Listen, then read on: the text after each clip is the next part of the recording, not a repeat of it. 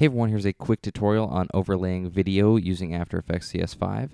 I've got a lot of questions about uh, overlaying video and having multiple video layers, image layers, so here's a real quick tutorial on it. I'm just going to go to Composition, New Composition, and I'll just name this Overlay. And I'm just going to use the default settings, which I think is PAL DV1, and I'm going to take my four video layers that I've already pre-imported, and I'm going to bring them into the composition.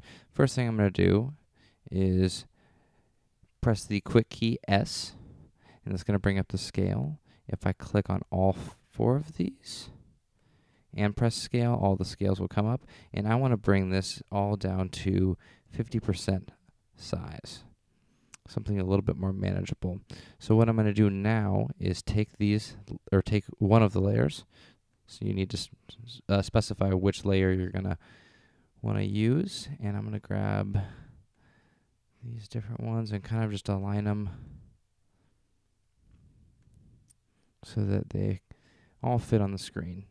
And you can see right now that depending on which layer is on top, uh, corresponding in your composition, uh, will be displayed on top in your video. So if I bring this one, uh, MVI 5222 or 5722, that's going to come to the front.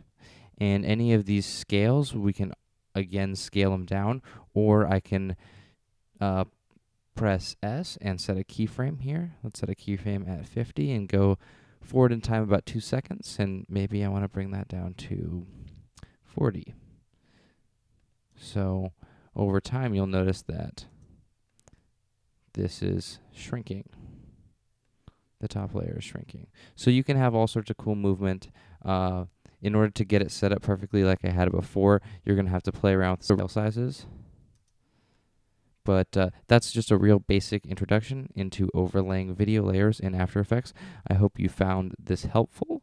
Uh, if you have any other questions, please comment, rate, and subscribe.